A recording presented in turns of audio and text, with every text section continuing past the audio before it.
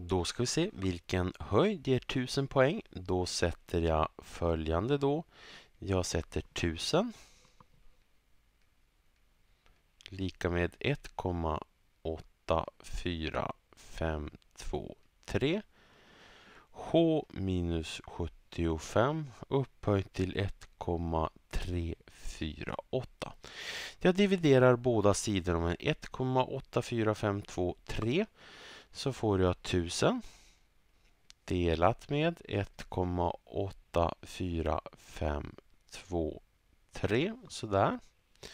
Är lika med parentes H minus 75 upphöjt till 1,348 och så sen så upphöjer jag båda sidor till 1 genom det här så får jag alltså då parentes 1000 alltså jag bryter ut H helt enkelt ur det här för börjar jag avrunda så tror jag att risken är stor att jag avrundar för mycket. Sådär. Och så lägger jag till 75 på båda sidor.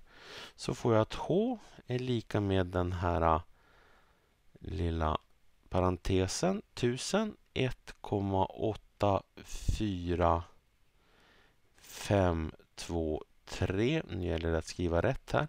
1 genom 1,348. Sen är det då minus på den sidan. Då adderar jag 75 på båda sidor. Plus 75. Så höjden ungefär lika med någonting här då. Parentes 1000. Delat med 1,84523. Sådär. Upphöjt till 1 delat med 1,348. Så. Adderat med 75. Och då får jag höjden till 181,7. Alltså 182 skulle jag skriva då. Centimeter.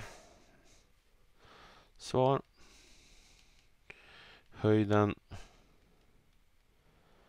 182 centimeter ger 1000 poäng. Sådär. Okej, okay, klart. Då går vi vidare till nästa.